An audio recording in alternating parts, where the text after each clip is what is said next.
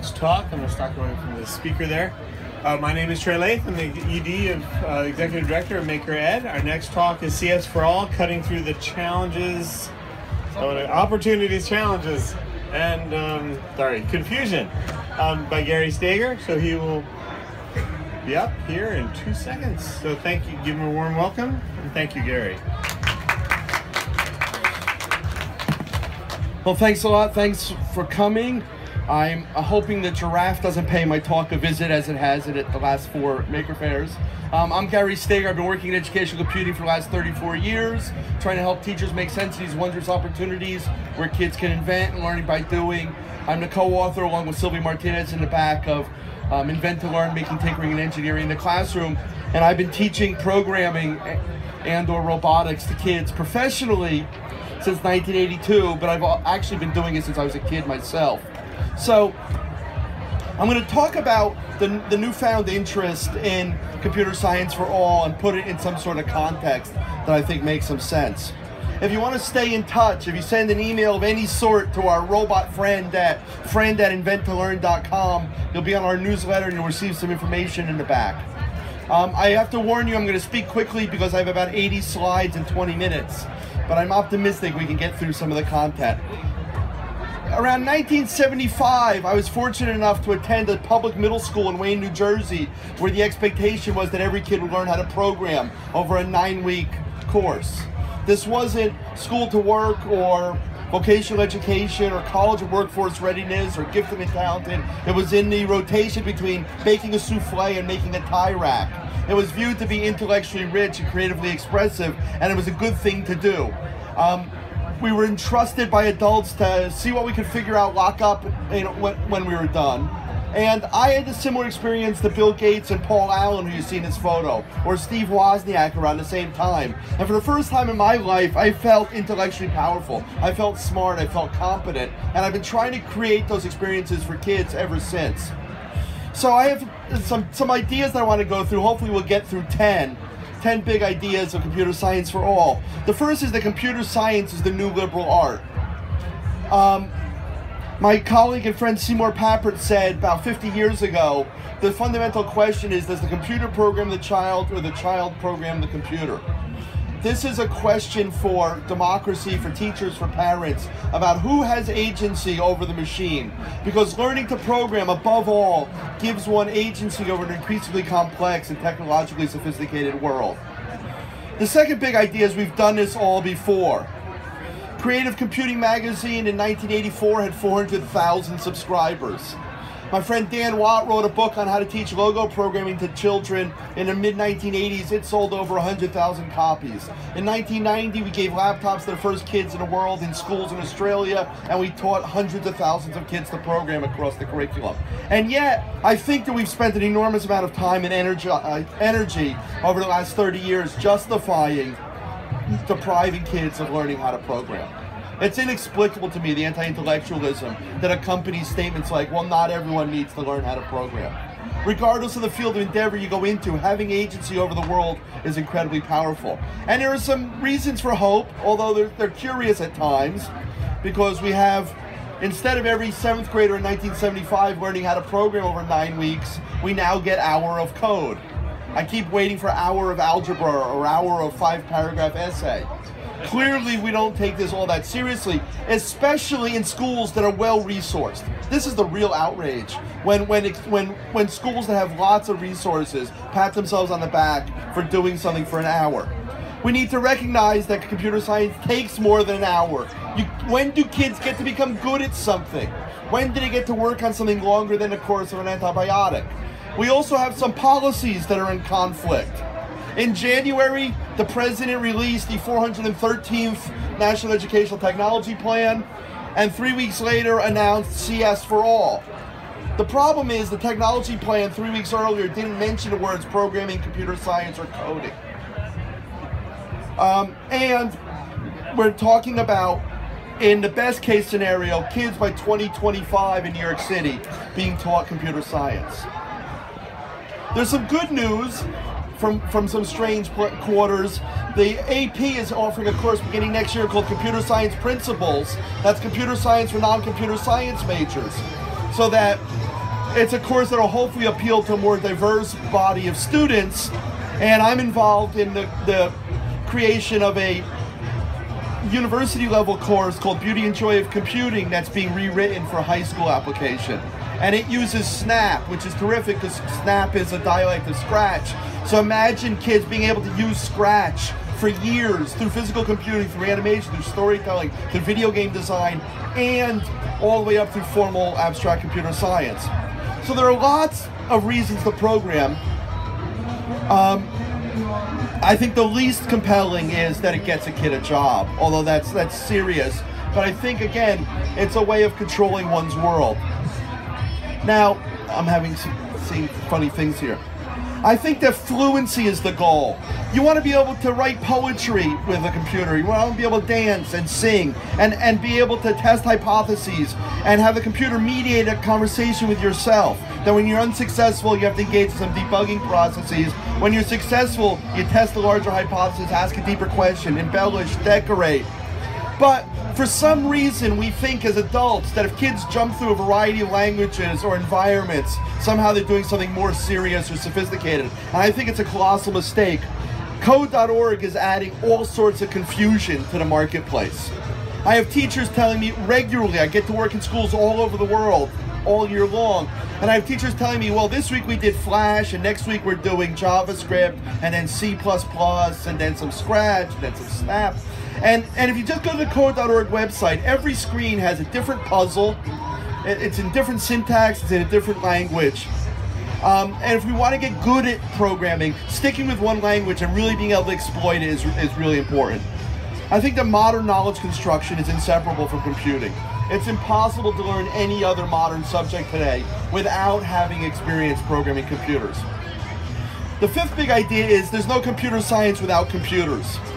Only schools would invent things like computer science unplugged.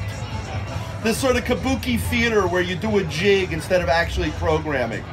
Uh, um, now, that's not to say there aren't times where you should play turtle in the context of programming, where you can act out some concept in the context of programming, but it's preposterous to deprive kids of computer experiences, and they hate it. Code.org conducted study, they asked students what their least favorite part of the curriculum was, and they over and over and over again said the off-computer programming activities. It's like a, you know, this is computer appreciation, not computer science. Um, computer computational thinking, regardless of what you think about it, without programming is just math class. And one of the things that Papert said decades ago is that writing a computer program is a way of explaining solving a problem. It's a way of having control. It's a way of communicating powerful ideas. We have multiple forms of programming. We can make things. We can contextualize mathematics. We can use programming to in an instrumental way to solve other problems, and we can control devices. This is a fairly new idea that I've had, that the standards are at best premature. Last week I was speaking with someone from a large tech company who was really interested in getting kids involved in microcomputer, microcontroller electronics and, and physical computing. And he said, but you know, the real challenge is we have to find a way of assessing this so we can prove its worth to teachers. And I'll ask this question How the hell can you assess something that you have no earthly idea what the kids are capable of doing? When you've seen a few hundred individual original projects created by kids with Arduino, then you can start creating benchmarks. Go into a good progressive school and ask the fourth grade teachers to show you a below grade level, on grade level, and exceptional piece of writing. They can do it because they've looked at lots of student writing. It's the height of arrogance to think that we should start with assessment for stuff we know nothing about. I like I would like to know what kids are capable of doing. Computer science is a con- context for constructing knowledge, in mathematics in particular. Um, Papert had this idea of a math land that imagine if inside the computer you would learn mathematics as naturally, as powerfully, as meaningfully by messing about with powerful ideas, by living and speaking mathematics as you would if you went to France and learned French in the context where French had power. And that the idea of programming was communicating abstract ideas to the computer in a concrete representational fashion. So here's an example of one of my favorite projects. Oops. Let me go back again. Let's see if this is going to work. Um, maybe. Ah, sorry about that. This was a project. I'll explain it quickly. Where I was walk, I was working in a fifth grade where the kids were being taught numerator and denominator for nine months. It was written on the whiteboard for so long you could no longer erase it. They were going to have to throw the board out or chip it off. And what really infuriated me was if you asked the kids um, what a numerator and denominator was, they couldn't figure it out despite the fact that this was a coin flip and just a vocabulary activity. So I said the first kid who writes a program in Microworlds, a version of Logo, not unlike Scratch, that lets me type a fraction in and draws me a graphical representation of that fraction as parts of a circle, I'll take you out to lunch. And two days later, three little girls hand me a program that indeed let me type any fraction in. They understood fractions for the first time ever. They were using numerator and denominator because those were the names of their variables. Oh, they were using variables and inputs and angle measure and circumference and diameter. And they were learning a ton of other stuff. So the idea that this is somehow um, inefficient is preposterous. You're spending a year teaching kids something they couldn't care less about. And when in what's only a, a vocabulary exercise, if you want them to engage in actual mathematics, programming provides a context for that. I was in a school in Los Angeles where the teacher was giving a lecture for 45 minutes on absolute value, sixth grade teacher. And at the end of the lecture, I asked her, What would you use that for? And she shrugged and said, I don't know, maybe seventh grade. Well, when you're trying to get your spaceship to land on your planet or your robot to navigate a maze, absolute value is a powerful idea. And so, again, I think if our goal was no more ambitious than, than getting kids to to achieve better results in the existing math curriculum, we would teach every kid to program.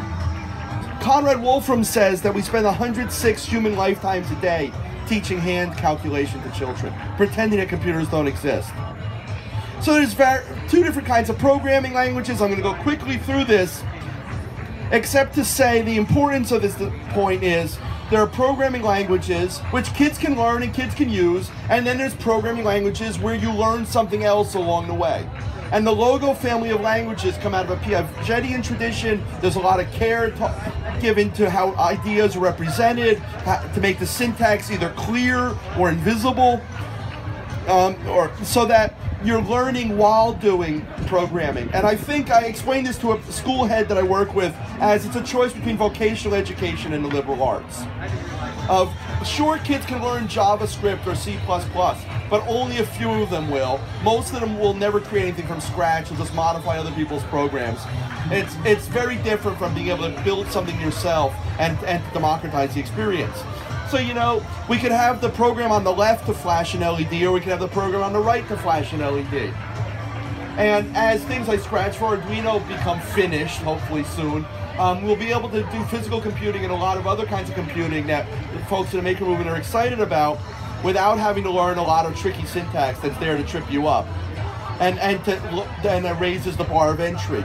The goal behind the design of Logo and Scratch and other languages in that family is to have a low threshold and high ceiling.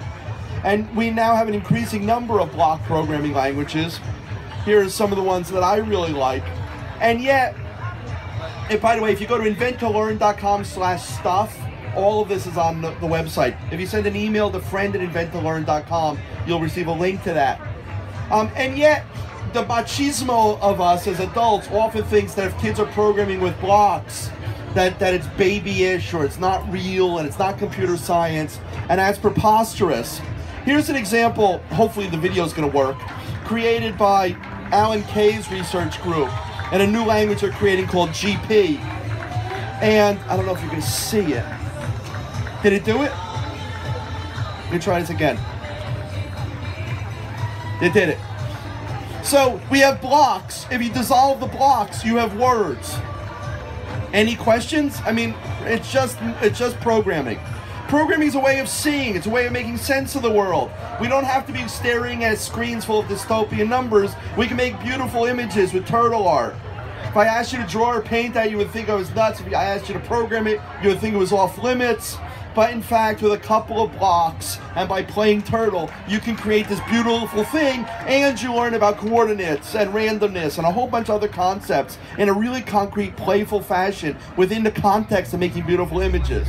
If I asked you to write a program to, to draw that figure, you might think it was very difficult or, or impossible. But if you start looking at it, you recognize that it's small circles and then along an arc. So if you make a little circle and go a little bit and turn a little bit, you can make something like that. The eighth big idea I want to talk about is there's more to kids in computer science than video games. I often get nervous when we when we pander to youth culture too much. First of all, what do you mean by video games? Most adults don't realize there's different genres. The people who program video games only program one genre. The kids who play video games tend to favor one genre. Not every kid loves video games. Um, and and this, this mistake is being made an awful, with great frequency, trying to inspire girls to fall in love with programming because you know everyone loves video games. Well, not not necessarily girls, and not every kid loves video games. There's a lot more to, to computer science and video games. Papert said if you can make things with computers and you can make more interesting things, you learn a lot more by making them.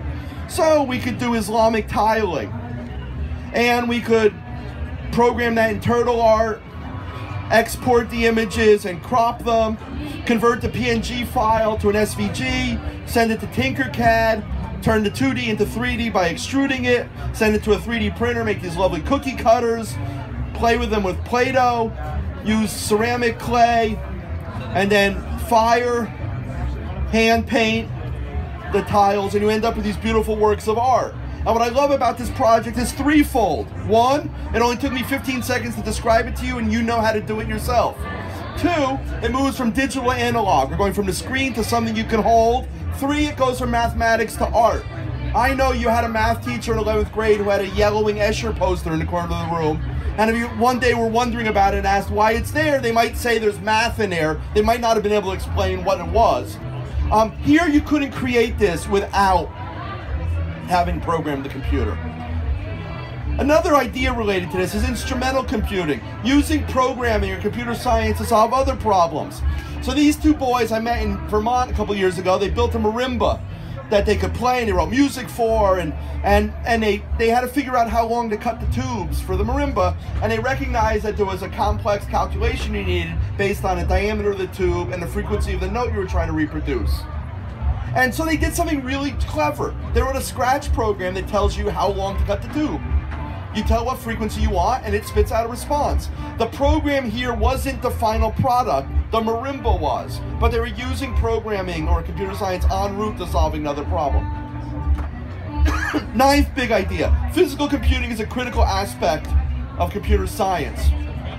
And yet, I have seen national curricula for computer science in Australia and England and the stuff that's being proposed in the US, and they almost all suck not just by what they omit, but by, by their perspective and lack of, in, of, of, imagination. First of all, as Sylvia likes to point out, if the first thing you see in the curriculum is counting in binary or first graders will identify an algorithm, you should you should immediately close the book. This is just computer appreciation. This isn't computer science. A lot of the curricula don't allow you to touch a computer until you've memorized terms for months at a time. And and in almost none of the curriculum have I seen any examples of doing simple things like I have a knob, a potentiometer. It gives me a value. How do I find out what that value is? How do I find out what that range of values it, it are? Once I figure it out, like with the Hummingbird Robotics Kit and Scratch or Snap, I find out that the knob goes from 0 to 100. Well, if I have a turtle on the screen, how can I write a program that if I turn the knob, the turtle will turn proportionally? Ask a third grade, sixth grade, 12th grade student that question and watch their heads explode. It's not in any of the curricula that I've seen, and yet I think it's foundational. It's fundamental. Being able to know what kind of data you're getting and what to do with it is really important. And it's just essentially a arithmetic problem once you understand the actual problem. You know, when you have a when you have a longitudinal scope and sequenced curriculum over 12 years, you have to do things like put if in second grade and then in third grade unless you take a more project approach to it. Now, one of the talks that was rejected here and at the ISTE conference next month was on the 45th anniversary of the Maker Movement. I posit that 45 years ago, my friend Cynthia Solomon and Seymour Papert wrote a, a, paper called 20 Things to Do with the Computer. You can find it online. In 20 Things to Do with the Computer, they said in our image of school computing, an important role is played by numerous controller ports, which allow any student to plug any device into the computer. We're seeing a lot of that here. The modern the modern maker movement begins with that paper. And yet, we can't behave as if the teachers are incompetent. If you believe that kids are competent, you have to believe that your teachers are, in, are competent as well. So in our workshops that we've been doing around the world, we've been asking teachers to use a very simple prompt like, inspired by the enchanted tiki room at Disneyland, you know, where the birds come from the sky and they per- perform a, a, show for you. Make a bird and singing and dancing is, um, is, is appreciated. And in this context, we're having teachers, the first time they've ever done anything with a tech, with a computer, making birds come alive with sensors and and and and, and editing music, stuff that would have been a two-year PD workshop, they're doing in 90 minutes. Because one of the things the maker movement has taught us is there's no better way to learn computer science than to buy a kilo of feathers. That when you can re-energize timeless craft traditions and use it in a cybernetic sense, there's a lot there's a lot of bang for your buck. This this project, which I don't think you're to be able to hear, it says when you approach the sensor, never send a monkey to do a bird's job. This was created by teachers in rural Arkansas, again with zero prior knowledge, zero previous experience with robotics or programming. One of the teachers in his group literally didn't know the difference between greater than or less than. Well, she kind of did. She says, is the crocodile's mouth this way or that way? Which means she didn't understand it. But in this context, when you want to have it come alive, when you approach, you have to deal with that sensor question that I talked about before. Here's a makey makey project where the circulatory system and digestive system of the body are drawn on t-shirts with conductive thread and snaps. You point it somewhere on your body, and then an animation or a web page or a tutorial you created in Scratch plays. Or a, a harp made with conductive thread, a purloined hotel luggage trolley, and a makey makey. At our Summer Institute Constructing Modern Knowledge last year, a group of teachers and principals made this dress that responds to noise or pulsates with music. Now, this is a nice engineering project, it's a nice computer science project, but we'd be remiss to not point out that they made a freaking dress. And it's tailored. And we don't have to just suggest that this is a way of attracting girls into computer science. If you watch the kids sewing here, you'll see plenty of boys learning how to do it because sewing machines are cool. And we don't have to be prejudiced in our view of what's going to attract which kind of students. If, we if we're concerned about girls in STEM, I've found that there's nothing better than drones. Using Tickle, which is a iPad version of Scratch, whose secret sauce is controlling spheros and mini drones and light blue beans and Philips Hue lights and toys of all sorts Kids can make their toys come alive. And these sub $60 drones now are are now flying turtles, where we're giving kids access to not only computer science and engineering, but to three-dimensional space and the mathematics that's associated with it. And I was shocked, but I'm no longer surprised by when I bring these drones into a school, the girls will knock the boys over to get at them. Uh, something really empowering about making something fly. The last big idea that I want to share with you is there's no subject for personal computing. I mentioned very quickly earlier that 26 years ago I began working in schools where every kid had a laptop. The idea that in 2016 we're still arguing over whether kids should have access to their own computer is preposterous and obnoxious and needs to end. We knew we were on to something when girls at Methodist Ladies College in Melbourne, Australia in 1989-1990 began decorating their laptops with glitter pen and stickers. That's when they had ownership of it. Not only of the machine, but of the ideas they construct within it. And you can't work on anything sophisticated unless you have time and access. And there's no greater impediment to girls being interested in computing than fighting over computer time. And there's been books that have been written on the subject. I'll end with this last ex example. I was working at the American School of Bombay, and we, we introduced all kinds of maker technology to the kids. And then we said, play, pick your groups, work with your friends. You have three hours. We had Makey Makeys and Arduinos and hummingbirds and wearable technology. And this one little girl sat at her computer. She had just seen turtle art for the first time. And she began programming. And she programmed and programmed and programmed for so long that it almost took on an air of defiance. And when she was done after a few hours, we asked if she'd share with us what she had created. And hopefully the animation's gonna go. I'll try one more time. Is it working? When you clicked on the super procedure, the turtle draws I love you. And it's, you know, quite poignant and worth remembering that maybe when you're 15 years old, there's stuff that matters more to you than the Pythagorean theorem. Except you're using the Pythagorean theorem in, in its expression of love. So, as I mentioned earlier, I think there's a lot of reasons to justify teaching kids to, to, to learn to program. Um, hopefully, we're moving past an era where we've spent 30 years arguing about why kids shouldn't learn to program, whether it's the corporate folks or the White House or at least mouthing the words to computer science for all. I think this is important. We have to have a sense of, of urgency because it's fun, because it's empowering, because it has economic implications, um, but most of all because it helps kids feel smart and have agency over an increasingly complex and technologically sophisticated world. Thanks a lot, folks. Thanks for the work you do. I'm happy to talk to you afterwards.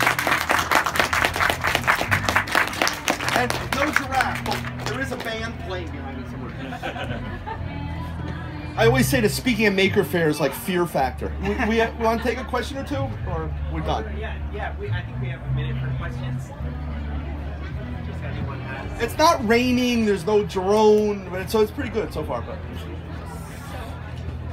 yeah, go ahead. This isn't a question, but can you put the email address up again? Yeah, yeah. My computer's doing something bad here, so that's why I couldn't see what was going on.